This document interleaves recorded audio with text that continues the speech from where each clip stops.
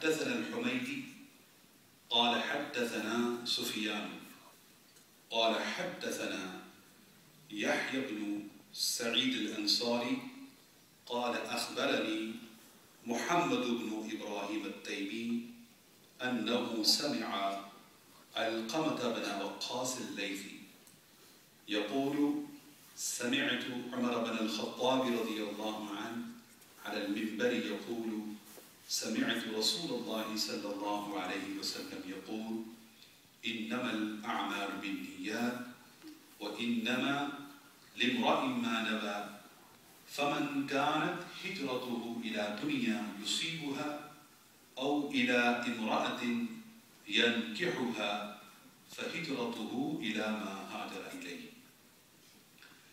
narrated by Waqas al-Laythi, Al-Qama bin Waqas al-Laythi, who says, I heard Umar ibn al-Khattab radiyallahu an on the pulpit saying, I heard Hudu sallallahu alayhi wasallam says, deeds are depending upon the intentions. And person will have according to his intention. And the person, his migration is to achieve the dunya, meaning the wealth of the world, or anything related to the world, he will achieve it. Or if someone's migration is towards a woman to get married with that woman, then his migration is for the purpose he has migrated for. So in the hadith, uh, Imam Bukhari rahmatullahi alayhi compiled the first narration which is related to the intentions in the niyyah. So Imam Bukhari rahmatullahi alayhi is pointing uh, with placing the first hadith relating to the intentions that all trainees or learners, students, muta'allimin, you must correct yourself before commencing into the Bukhari that you are learning Bukhari or hadith of Rasulullah sallallahu alayhi wasallam with the pure intention to propagate the ahadith of Rasulullah sallallahu alayhi wasallam to. That how you should purify your intention, otherwise people will have revolts according to their intentions.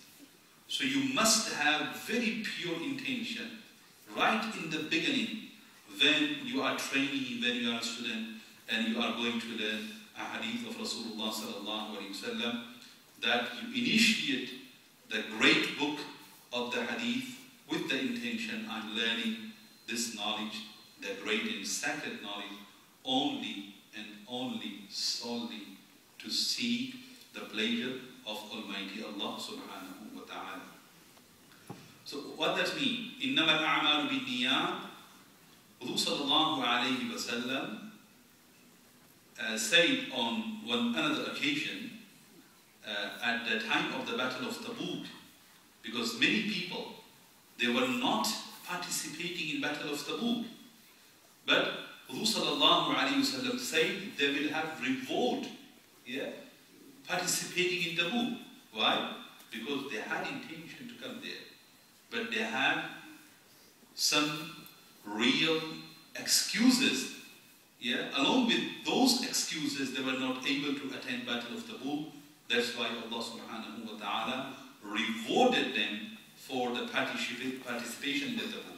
So the meaning is like, first and basic thing is, you have to have good intention and Allah subhanahu wa ta'ala will reward you for your deeds which will be based on your intention. And one person, when Prophet ﷺ migrated to Medina Munawwara, there was a person, he migrated to Medina Munawwara, and there was a lady in Medina Munawwara, like the lady proposed that person, if you come to Medina, then I will get married with you.